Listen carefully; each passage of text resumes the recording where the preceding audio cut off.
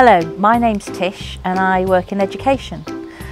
And here's your riddle of the week. It's been around for millions of years, but it's no more than a month old. So what is it?